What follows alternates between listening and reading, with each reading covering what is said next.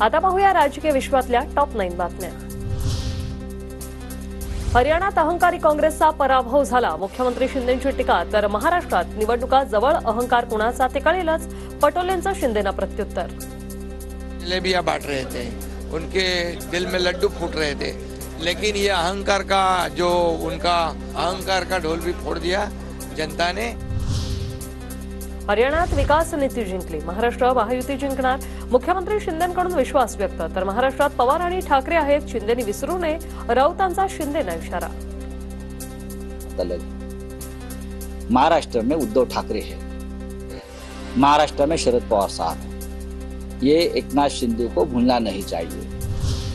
नांदगाव मनमाडच्या जागेवरून महायुतीत वाद जागा शिवसेनेचीच. येवल्याची जागा शिंदेच्या शिवसेनेला मागणं उचित नाही. दादा भुसेंचा अप्रत्यक्षपणे भुजबळांना टोला.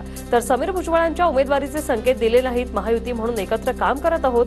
छगन भुजबळांचं स्पष्टीकरण. कोल्हापूरच्या कागल विधानसभेत महायुतीमधील धुसफूस चव्हाट्यावर शिंदेच्या शिवसेनेचे वीरेंद्र मंडलिक कागलमधून विधानसभा लढवणार. तर अजित पवारांच्या राष्ट्रवादीचे हसन मुश्रीफ कागलमधून आमदार. अकोल्याच्या जागेवरून महायुतीत वादाची ठिणगी राष्ट्रवादीच्या घड्याळाची उमेदवारी माझीच. किरण लहामटेंचा दावा तर अकोल्याच्या उमेदवाराची अधिकृत घोषणा झालेली नाही. वैभव पिचडांचं प्रत्युत्तर. फडणवीसांच्या सोलापूर दौऱ्याला रणजितसिंह मोहिते पाटलांची दांडी. भाजपच्या पाचशे सहा कार्यक्रमाला रणजितसिंह मोहिते गैरहजर रणजितसिंह मोहिते पाटील. भाजप सोडणार असल्याच्या चर्चांना उधाण. भाजपचे आमदार सुभाष देशमुख यांना आणखी एक राजकीय धक्का. जिल्हा उपाध्यक्ष वळसिद्ध मुगळे यांचं देशमुखांना आव्हान यंदा दक्षिणचा भूमिपुत्रच ठरणार विधानसभेचा आमदार अशा आशयाची बॅनरबाजी. पंढरपूर मंगळवेढा मतदारसंघात भाजपची डोकेदुखी वाढणार प्रशांत परिचारक अपक्ष निवडणूक लढवण्याची शक्यता.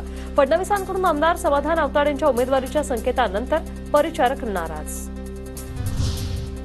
सोलापुरात भाजपच्या विजयकुमार देशमुखांची डोकेदुखी वाढली. राहुल काटकर शोभा वनशेट्टी यांनी पक्षाकडे सोलापूर उत्तरमधून उमेदवारी मागितली. फडणवीसांचे कट्टर समर्थक अशी राहुल काटकर यांची ओळख.